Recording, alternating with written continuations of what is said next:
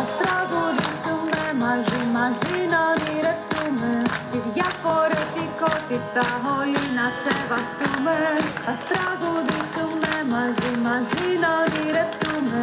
Τη διαφορετικότητα όλοι να σεβαστούμε μια γιορτή αγάπης και συναισθημάτων. Εισερχόμενα στον χώρο του αμφιθεάτρου για να ξεκινήσει η καλοκαιρινή τους γιορτή, τα παιδιά που φοιτούν στο ΚΔΑΠΜΕΑ του Δήμου Καλαμάτας, σχηματίζοντας κύκλο, σήκωναν και κινούσαν με ρυθμό ένα πολύχρωμο πανί, τραγουδώντας για την αγάπη, την ισότητα, την διαφορετικότητα, την ποιότητα ζωής. Μετά από δύο χρόνια εγκλισμού, φέτος είμαστε πάρα πολύ χαρούμενοι γιατί επιτέλους μπορούμε να δεχτούμε και τους γονείς, να γιορτάσουμε από κοντά όπως εμείς ξέρουμε και διασκεδάζουμε. Ε, μας αρέσει πολύ ο χορός, μας αρέσει το τραγούδι. Ε, γι' αυτό αποφασίσαμε τι καλύτερο φέτος το θέμα μας να είναι το ΚΔΑΠΑΜΕΑ πηγαίνει Λούνα Πάρκ. Μια γιορτή γεμάτη παιχνίδια, τραγούδια και χρώματα.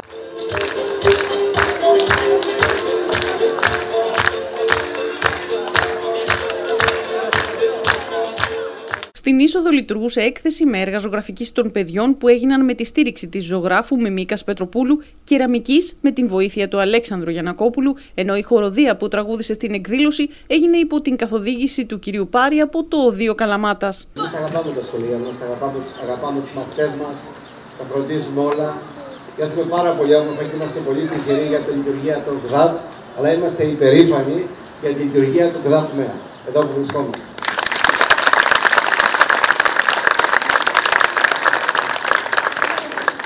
Είμαστε υπερήφανοι και θέλουμε να ευχαριστήσουμε τη Διευθύντρια, τους εκπαιδευτικούς όλους, τους μαθητές βέβαια, αλλά και βέβαια όλους εσάς γονείς που είστε εδώ και είστε δίπλα στα παιδιά μας, τα στηρίζετε, τα αγαπάτε, τα φροντίζετε και αυτό δείχνει πώς πρέπει να συμπεριφερόμαστε στη ζωή να στηρίζουμε ένα στον άλλον, να αγαπάμε ένα στον άλλον.